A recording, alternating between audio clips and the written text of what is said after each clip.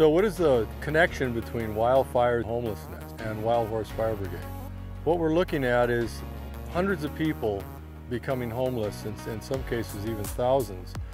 Uh, we've lost a thousand homes in the New Mexico fire. These people are now on the street. They're homeless, and many of them don't have fire insurance. They can't resume their jobs. They've lost everything down to their toothbrushes. So what can we do to help reduce fire and, and prevent homelessness like this? Because the, the weight on the social services is tremendous.